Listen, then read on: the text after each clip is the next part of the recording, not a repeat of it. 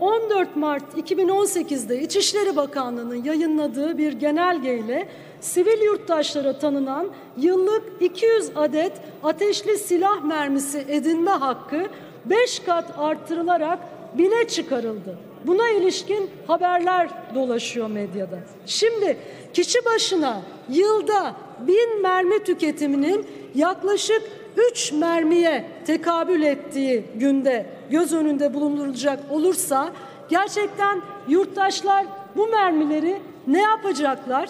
Ne için bu silahlanma ve aynı zamanda işte mermi sahibi olma durumu arttırılıyor.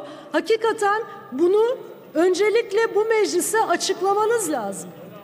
Yani insanlar e, silahlanmaya karşı, bireysel silahlanmaya karşı kampanyalar yürütürken, Umut Vakfı örneğin yıllardır bunun için mücadele ederken, 2017'de sadece bireysel silahlarla 2187 kişi öldürülüp birçoğu ağır 3529 kişi yaralanmışken siz neden kişi başına yılda bin mermi tüketimini sağlıyorsunuz?